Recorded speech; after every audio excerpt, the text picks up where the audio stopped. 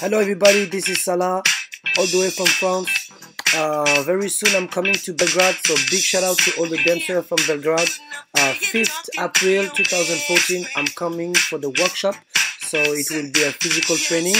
Um, it's not easy, but it's gonna be fun, and also you're gonna learn some foundation.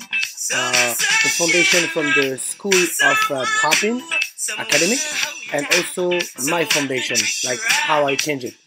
Uh, also, I want to say thank you so much for Angelo to bring me in Belgrade for the first time. And uh, see you very soon. Belgrade, be ready for the battle. The event called Be Fresh. So if you're not fresh, don't come. Just be happy.